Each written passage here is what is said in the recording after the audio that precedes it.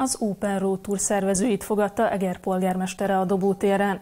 A Harley Davidson Budapest szervezésében valósul meg a motoros túra, amely szinte az egész országot átszeli, és amelynek egyik állomása Hevesi megyeszékhely lesz május 27-én. A pénteki találkozón a túra Eger környéki útvonaláról és az aznapi rendezvényekről egyeztettek.